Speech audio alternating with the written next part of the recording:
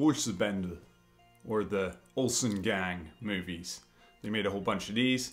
This is some classic Danish movies. I thought it'd be good to start with this. It's a great kind of slapsticky comedy, heisty movie. The Danish comedic version of the A Team, I don't know. A super fun series of movies that you should probably check out. Give you a little insight into uh, Danish film history.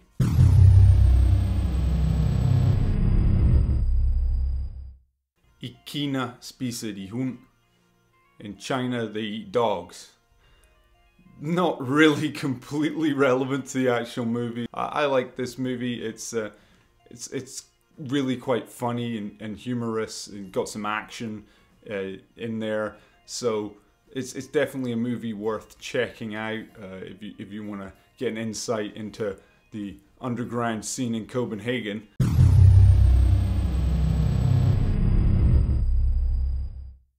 Pusher, or the whole Pusher series, uh, one, two, and three, I believe they did. Uh, the first one probably the good one to check out. They also had a, a, movie called Bleeder, which was pretty intense. If you want to check that out, but this is some of that underground uh, lifestyle in Copenhagen to have a little look at. Mads Mikkelsen with no hair. So there's uh, one of them. I don't know if that happened in the first one or the next one or the one after that one. But either way, the whole Pusher series definitely worth a peek.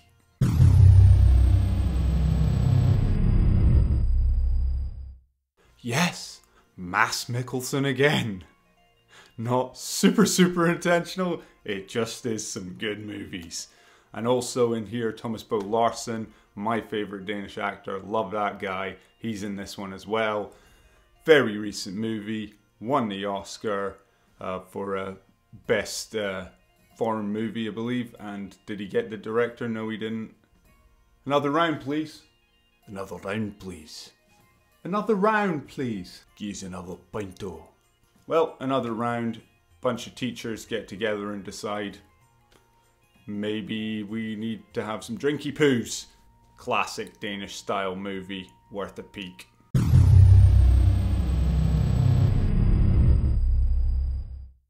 In It One is my favourite Danish movie. It's the Dogma 95 movement movie where they had some rules where I believe like you had to use natural lighting. I think you had to write it on the fly or you couldn't do certain amount of cuts and takes or whatever. I can't remember the rules. You can look that up, Dogma 95 rules. But anyway, this one is Festen or the celebration this is a very intense movie. Again, Thomas Bo Larsen is in this, my favorite guy. Just love the guy. He's so intense. He's so funny. I just, he's great. He's excellent. I'm so glad that with another round, the world got to see a little bit of Thomas Bo Larsen.